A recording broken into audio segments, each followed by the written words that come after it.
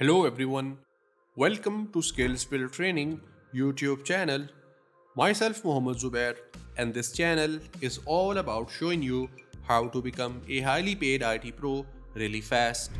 So the topic of today's video is 15 things you must do after installing the Deepin Linux 20.3. So without any further ado, let's get started.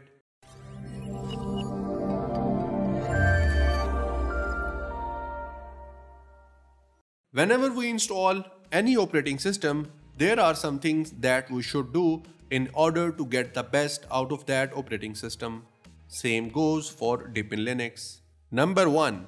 Update. Whenever we install a new system, some updates must be done to get the best performance. And to do so, we need to open our terminal. So here is my terminal and in that I will use a simple command and the command is sudo apt update and just hit enter. Give it your password and again hit enter.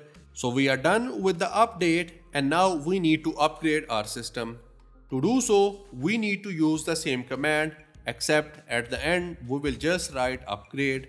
Again hit enter and now it will upgrade our system. Number 2. Multimedia Codecs while multimedia codecs are essential for some audio video file formats and many other applications in a Linux distribution. In Deepin Linux, we get a lot of them as default, but still some do not get shipped with Deepin Linux, so we need to install them manually. To install the multimedia codecs, use the command that I will use in my terminal and you can also find that command in the description. So this is the command. Just write this command and hit enter. Give it your password and now it will download the remaining multimedia codecs into your Deepin Linux and then you are good to go. Number 3. Choose the closest mirror. As Linux distributions use the selected mirror to download different softwares, application, packages and libraries for the system, but sometimes the default mirror is not the optimal one. And because of that, the system takes more time to download and install software, packages, libraries, etc. into the system. We can change the mirror in our Deepin Linux. I will use the command that will force the system to select the nearest mirror on its own and as a result, the download process will get faster. First of all, let's open the list of mirror in our system and the command for that is sudo nano space backslash etc backslash apt backslash sources dot list. And after that just hit enter. Here this is the mirror that is available into our system. And now here I will add a command that will force our system to choose the nearest one. I will just paste it here. This is the command. And after that just press ctrl X. To save this file press Y. And now again hit enter. We are done with this one. Number 4. Change the search engine. As Deepin Linux is from China and when we open the browser and search for something, the results are shown in Chinese language. Let me open my browser. So this is my browser and here if I search for anything, let's say I write here Debian, hit enter, it will show us the results in Chinese language. So this is a really big problem for a lot of users. Go to your menu and from here go to your settings and now here we have a section that says search engine. Click on this drop down arrow and from here select Bing, Google or Yahoo. Either one will do the work. I'll go with Google and now Google is my default web browser. And now if I search for anything, the results will appear in English language. So I will again search for Debian and here you can see we have all the results in English language. Number 5. Install Synaptic Manager. Well, with the help of apt command, we can install packages from the terminal. On the other hand, we have a Synaptic Manager that is a GUI interface and with the help of it, we can install up to 7000 packages in our Deepin Linux. To install Synaptic Package Manager, we need to use a command in our terminal and the command is sudo apt install minus y synaptic and after that you just need to hit enter. So we are done with downloading the synaptic package manager. Actually I have already done that and now I will just search for Synaptic Manager. I will just write here Synaptic and here we have Synaptic Package Manager. So this is how it looks like and on the left side you have different categories of packages that you can choose. For example, if I go with the email, here I have different packages related to my email. You just need to select those packages that you want to install. I will just mark it and I will keep on selecting those one that I want to install into my system. And the good thing is you can install all of them at once. After that, you just need to click on this apply button and your packages will get installed into your Deepin Linux. Number 6. Install Firewall. Even though the Linux distributions are safer than the Windows operating system, we should still have a firewall for more security. By default, we do not have the firewall in Deepin Linux, so we can install one.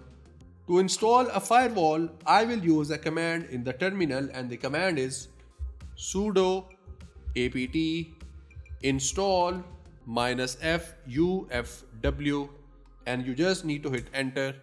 It will download the firewall into your Deepin Linux and then we will enable that firewall.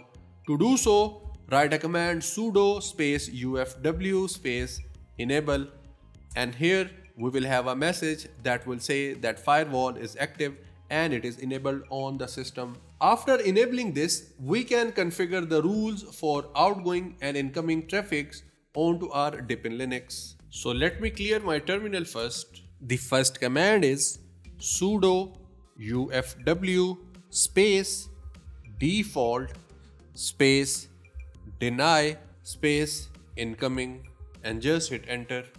This command will deny any incoming traffic onto your Deepin Linux. Now it says default incoming policy change to deny. Here I will write another command and that command is sudo ufw default space allow space outgoing and this command will allow all the outgoing traffic from your Deepin Linux. So these were some of the commands that you can use to configure your firewall onto your Deepin Linux.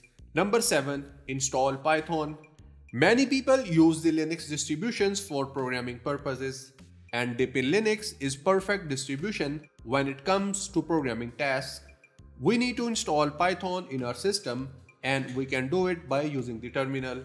And the command to do so is sudo apt install space python and just hit enter. So we are done with Python and now let's check the version of Python. To do so, I will just write here Python 3 space dash dash version, hit enter. Here we have 3.7.3 version of Python into our Deepin Linux. Number 8. Install Java. Just like Python, Java is another very prominent language and for many programming environments in your Linux distributions, you need Java. I'll show you that how you can install the Java. The command is sudo apt install default jdk. This command will download the default JDK suitable for your machine on its own. If you want to download a particular one, for that you have to use a different command. I will just hit enter. Here it is asking for the confirmation because it will require 567 megabytes of space to download and install the Java into our Deepin Linux. Number 9. Speed up the boot time. Well, when we boot the system, it takes at least 5 seconds to boot it up. So if you have only the Debian Linux installed, you can decrease the grub time to 0 and the system will boot up more quickly. To do so, write a command sudo space vi space backslash etc backslash default backslash grub and hit enter. Here the grub timeout is 5 seconds and now we need to change that. To go into insert mode, press Ctrl I and we are into our insert mode. Now I will change this one and I will change it to 0 and now our system will not take a lot of time to boot up. Number 10. Shortcut to kill unresponsive apps.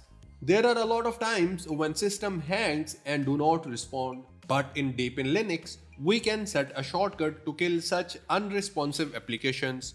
To do so, open your settings and then go to your keyboards and languages section. And here we have a section that says shortcuts.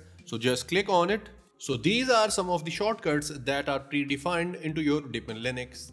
These are related to your system and if you scroll down, these are related to Windows and at the last, we have some shortcuts related to workspace.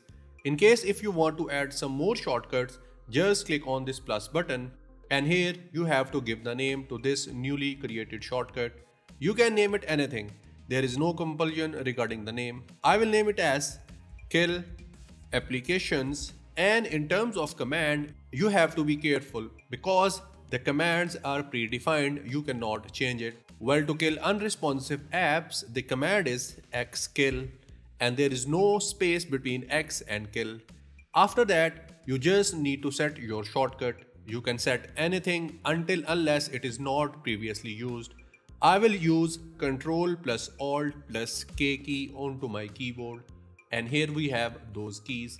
After that you just need to click on this add button and our shortcut has been added successfully as you can see under the custom shortcut section. Now in order to use the shortcut that we have just created, we need to press those keys that we have selected as the shortcut keys and the keys are Ctrl plus Alt plus K. And now if I click on my settings app anywhere, the settings app will get closed. So this is how you can close your unresponsive app with the help of a shortcut.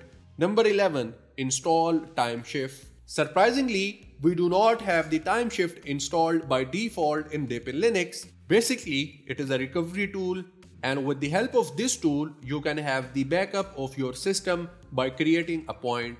When your system runs into a problem, you can go back to that point that you created and mostly for experiment purposes, Timeshift is very good tool. To install it, just write sudo apt install timeshift and just hit enter. Well, I have already installed it into my system, so I'll just show you.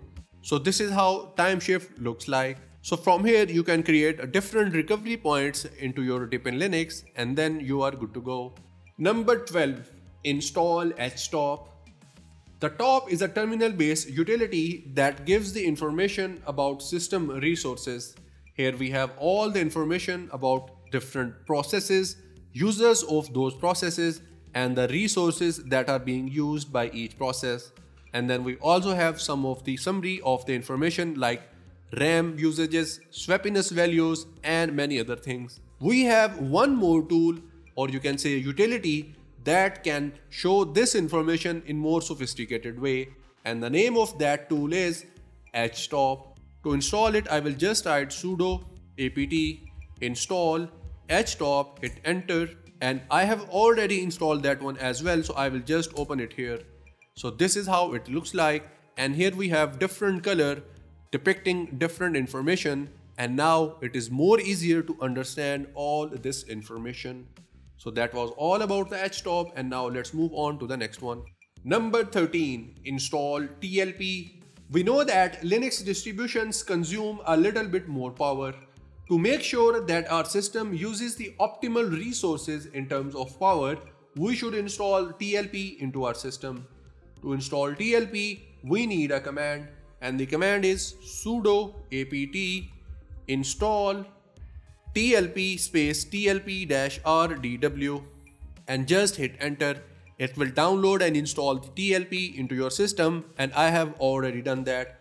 After you are done installing the TLP, you need to enable it into your system and the command for that is sudo systemctl space enable space TLP and just hit enter. It will enable the TLP into your system. Number 14, default applications. You will have more than one application for one type of work in your Deepin Linux.